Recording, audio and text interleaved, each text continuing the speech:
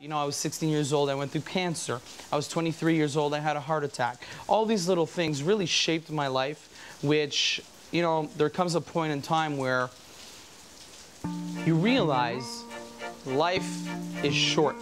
You know, when it gets taken away from you twice, you really realize that you gotta reprioritize. Since 16 years old, I've been reading books of success and really trying to find who my true role model is.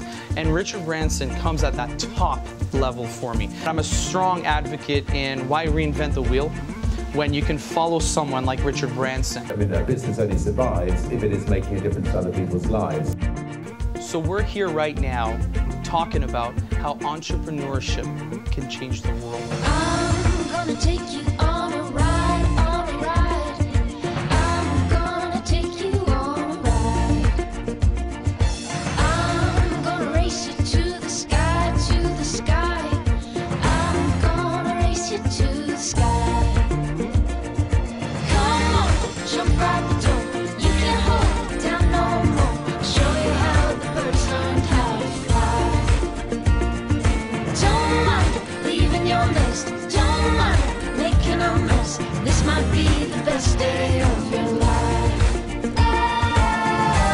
Be only 26. I said, hey, You can't be only 26. You me. All right, I'll swap the island for your age.